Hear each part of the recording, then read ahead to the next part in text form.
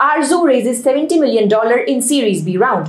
Bengaluru-based B2B retail tech firm Arzooo has raised $70 million in a new round from SBI Investment, Japan and Trifecta Leaders Fund.